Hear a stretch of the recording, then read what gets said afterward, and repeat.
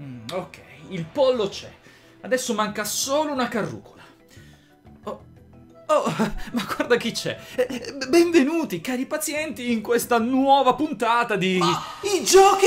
Eh, ecco. Come avrete capito dal titolo del video, non parleremo certo del fatto se sia meglio PES o FIFA, come moltissimi di voi continuano a chiedermi a gran voce. Ma che diavolo? Piuttosto scaveremo a piene mani nel passato delle gloriose avventure grafiche targate LucasArts, alla scoperta dei titoli più famosi basati sul celebre Scum. Il motore di gioco, anzi più precisamente si trattava di un linguaggio di scripting semplificato, usato come base di gran parte dei titoli Lucas degli inizi, a partire proprio dal famosissimo Maniac Mansion. L'acronimo SCUM infatti sta proprio per Script Creation Utility for Maniac Mansion. SCUM, per stessa ammissione di Eric Wilmander e del mitico Ron Gilbert, i suoi ideatori, doveva infatti servire limitatamente per Maniac Mansion, ma si rivelò talmente comodo e semplice da usare sia per gli sviluppatori che per i giocatori, grazie alla sua interfaccia intuitiva, che la sua struttura e molta della base originaria fu usata per moltissimi anni su una moltitudine di giochi diversi.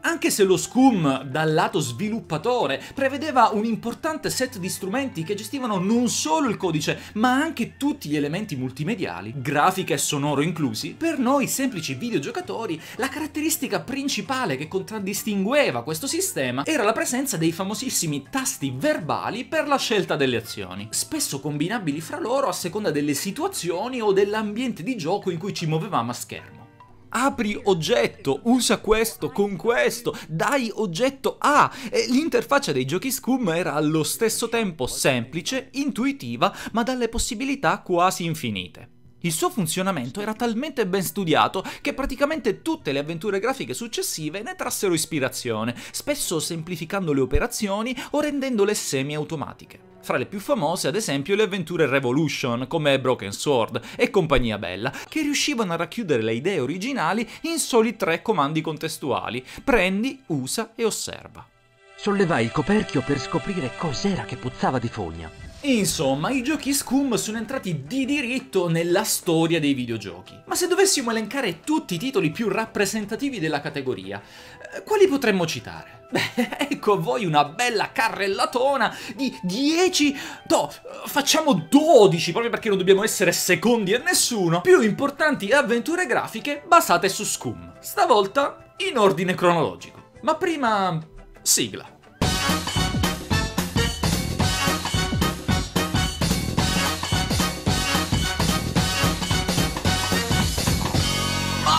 Giochi? Con Dr. Game!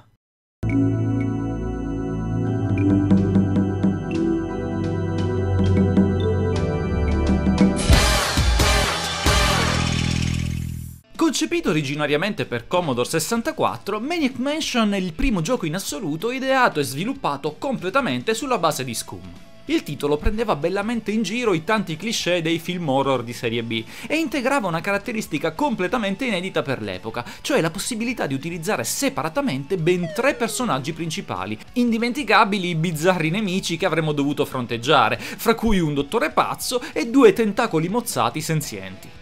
Di Maniac Mansion esistono innumerevoli porting, uno anche per NES che, pur con alcune limitazioni, riportava anche sulla macchinetta Nintendo il sistema di gioco abbastanza fedelmente. Pur essendo invecchiato maluccio, il titolo è degno di essere giocato e rigiocato anche oggi, quindi fateci un pensierino. Secondo gioco ad avvalersi del sistema Scum, Zack McCracken narrava le gesta di un giornalista comune alle prese con dei perfidi alieni in grado di prosciugare l'intelligenza degli esseri umani rendendoli più ignoranti di una scarpa. Insomma, dei perfetti utenti medi di Facebook. Che sia un caso che l'intero gioco giri proprio intorno alle teorie del complotto, a guru che si credono di professare la verità assoluta e in generale si respiri una spessa atmosfera New Age? Boh, non si sa. Fatto sta che alla fine comunque si tratta di un giocone, forse ancora un pelino sperimentale, del resto la vena comica demenziale che avrebbe caratterizzato le avventure Lucas doveva ancora esprimersi appieno, ma nonostante ciò è un titolo che ha fatto storia. Da rigiocare assolutamente. Primo e ultimo gioco Scum basato su una licenza cinematografica, questo tie-in di lusso ripercorreva pedissequamente le vicende della terza avventura cinematografica dell'archeologo impersonato da Harrison Ford. Un gioco più che buono, interessante e giocabile, con addirittura una meccanica che teneva conto del quoziente intellettivo del nostro indie, premiandoci ogni qualvolta avessimo trovato un modo alternativo di risolvere un enigma o di combattere un nemico. Peccato per la storia, ovviamente scontata per chi aveva visto il film. Ma non lamentiamoci. Le altre versioni di questo stesso tie-in, ad esempio su console, erano dei mediocri titoli action, quindi va benissimo così. Nato un po' come test generale per provare i limiti creativi permessi dallo Scum, Loom si rivelò un'avventura magica e suggestiva che andava ben oltre le aspettative. L'avanzata interfaccia integrava la possibilità di creare diverse piccole melodie di quattro note, ciascuna legata ad una diversa azione nel gioco, il cui effetto poteva essere invertito suonando la melodia corrispondente al contrario. Un sistema di gioco innovativo ed originale, che valse al titolo un ottimo successo, soprattutto nelle versioni per DOS ed FM Towns. Nonostante i risultati, e pur essendoci stati vari piani in tal senso all'epoca, il progetto di un seguito non riuscì mai a concretizzarsi. Solo nel 2013 le speranze parvero prendere vita sotto forma di Forge, un seguito made in Italy semi-ufficiale diviso in tre episodi ad opera del team Kill of the Wisp, capitanato dal talentuoso Gabriele Nannetti. Il primo di essi è scaricabile gratuitamente dal sito ufficiale forgegame.com, ma degli altri due purtroppo se ne sono perse le tracce. Ed è davvero un peccato. What was that?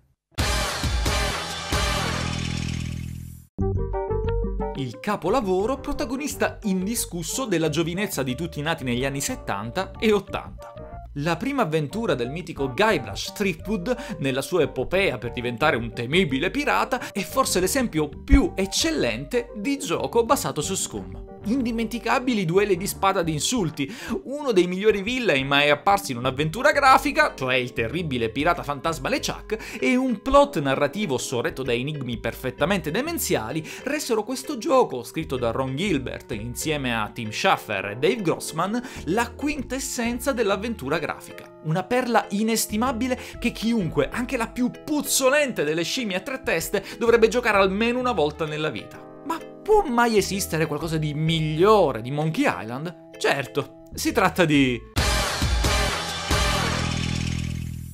Monkey Island 2 più bello, più grande e col 65% di scimmie in più. Il secondo capitolo di Monkey Island rappresentava un vero esempio da manuale di come bisognerebbe fare un seguito di successo. La leggendaria avventura di Guybrush alla ricerca del tesoro di Big Whoop è tuttora considerata una vera pietra miliare nella storia delle avventure grafiche. Monkey Island 2 è poi il capitolo della saga più influenzato da Disney e in particolare da...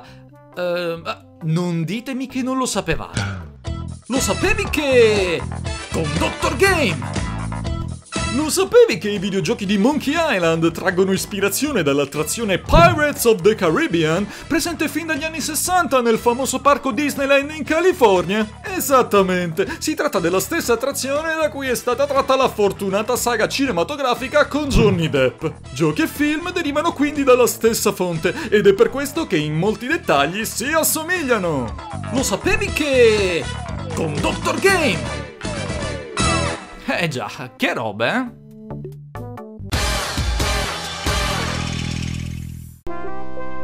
Beh, che dire, senza ombra di dubbio il miglior gioco in assoluto basato su Indiana Jones. Punto. Potremmo finirla qui e già basterebbe. Sarebbe inutile parlare di una storia meravigliosa che avrebbe portato Indy in giro per il mondo fino alla scoperta della perduta Atlantide, o sottolineare la giocabilità perfetta, sorretta da enigmi maturi e ben congegnati, o la magnificenza grafica, soprattutto sulle più recenti versioni che si avvalevano del supporto alle schede grafiche VGA e al CD-ROM. Nah, ma perché discuterne? Basta solo dire che per molti anni, e forse anche tutt'oggi, Indiana Jones e The Fate of Atlantis venne unanimemente riconosciuto riconosciuto come il vero e unico quarto episodio delle avventure del nostro archeologo preferito. Altro che quella mezza cagata del teschio di cristallo coi piedi di cobalto e le palle tonnate. Ah, non oso pensare a cosa verrà fuori col prossimo quinto film. I brividi di terrore.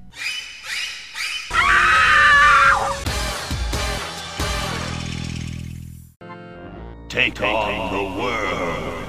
Questo meraviglioso sequel di Maniac Mansion segna una sorta di punto di svolta per le avventure Lucas. Il motore grafico, profondamente aggiornato, riusciva a gestire un'animazione degli sprite più fluida, più dettagliata, facendo assumere al gioco un aspetto sempre più da cartone animato. Il lavoro eseguito da artisti ed animatori è encomiabile e anche la storia alla base di questo titolo contribuisce a farlo brillare per caratterizzazione, situazioni paradossali e personaggi, senza dimenticare lo strepitoso doppiaggio. Si tratta senza alcun dubbio dell'avventura Scum più fuori di testa, ma nel senso buono del termine ovviamente. Un grande classico recentemente rimasterizzato e riproposto al pubblico, e quindi da non perdere per alcun motivo.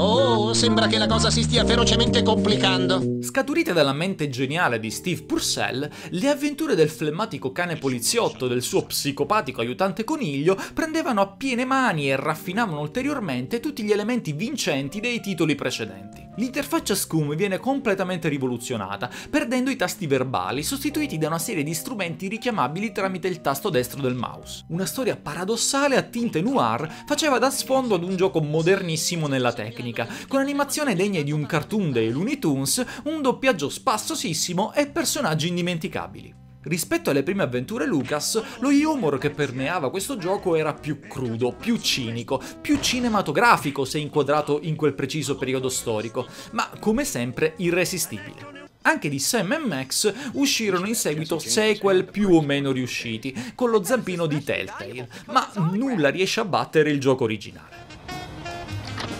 Ah! Ideata dal solito Tim Schafer, questa storia a base di motociclisti futuristici stravolgeva tecnicamente un po' tutto. Ereditando la stessa tecnologia già usata per i giochi di Star Wars, per la prima volta in un'avventura grafica le animazioni generate in tempo reale venivano fuse con filmati tridimensionali pre-renderizzati dando così la possibilità di godere di visuali e prospettive inedite fino ad allora e di osare maggiormente sullo stile cinematografico del titolo. A dimostrazione di ciò vennero anche coinvolte personalità attoriali di spicco, come Mark Hamill, il Luke Skywalker proprio di Star Wars, che andò ad impersonare l'antagonista finale. Insomma, da qualunque parte lo si guardi, Full Throttle è senza alcun dubbio una vera pietra miliare nella storia dei titoli Scum. Ho messo a posto la porta. Tratto da un'idea di Steven Spielberg, questa epica avventura fantascientifica, sviluppata in un lasso di tempo lunghissimo, quasi sei anni, che erano un'eternità per quei tempi, mise a frutto tutte le migliorie tecniche di gameplay già sperimentate sui giochi precedenti e si innalzò ad un livello superiore. Un mix riuscito di grafica disegnata a mano e pre-renderizzata, una interfaccia Scum semplificata, evoluzione di quella già presente in Sam Max e una storia spettacolare lo resero un enorme successo successo di vendite e critica, tanto da far nascere curiose leggende metropolitane che volevano questo gioco collegato a blockbuster cinematografici come Deep Impact ad esempio. In realtà l'idea originaria di Spielberg nasceva proprio come soggetto per un film, purtroppo irrealizzabile all'epoca per mancanza di fondi e tecnologia. Alla fine se ne fece un gioco, ma a noi appassionati andò benissimo così. Hai una prenotazione? Il terzo episodio delle avventure di Guybrush Threepwood segna un profondo stravolgimento nello stile della serie. La grafica completamente cartoon, il doppiaggio e un'interfaccia scum ancora più semplificata non mancarono di generare una bella dose di scetticismo inizialmente. Ma alla fine un protagonista scemo come al solito e le assurde avventure intorno al leggendario Pollo Diablo convinsero persino i puristi più intransigenti. In definitiva non si trattò certo di un gioco imprescindibile e indimenticabile, ma sicuramente molto meglio di tutto quello che venne fuori in seguito sotto il nome di Monkey Island. Mi capita ancora di svegliarmi la notte urlando al solo pensiero del quarto orribile capitolo. Ah. The Curse of Monkey Island fu comunque l'ultimo gioco ad utilizzare il sistema Scum. Eh già, beh, pace all'anima sua. Non sembra male se ti piacciono i cavoli. E così, eccoci qua. Cosa rimane oggi dello Scum? Beh, nell'industria videoludica moderna ovviamente nulla, se non le logiche di funzionamento che continuano ad esistere nella spina dorsale anche delle avventure grafiche di oggi. Mentre nella scena dell'emulazione, beh, lì il discorso è diversissimo. Grazie al miracoloso Scum VM, cioè Scum Virtual Machine, un virtualizzatore di ambiente Scum, anche oggi è possibile giocare su una miriade di sistemi diversi, cellulari inclusi, tutte le avventure basate su questo celebre motore. Io stesso in tutti i miei dispositivi portatili basati per esempio su Android, come prima cosa installo sempre Scum VM nella sua versione mobile. Si tratta semplicemente di un programma meraviglioso, quindi se avete voglia di rigiocare questi titoli o di scoprirli per la prima volta, beh, approfittatene. Sempre che i giochi non siano disponibili nei vari store online di PC e console, ovviamente. Bene, che altro dire? Conoscevate queste avventure grafiche e il motore Scum? Che razza di domande? Ovvio che dovete conoscerle! Ci avete giocato all'epoca? O magari ve le siete gustate recentemente? Beh, raccontatemi tutte le vostre esperienze qui sotto nei commenti. Per questa puntata è tutto. Ringrazio tutti voi per la cortese attenzione, un caro saluto dal vostro Dr. Game e ci vediamo al prossimo video.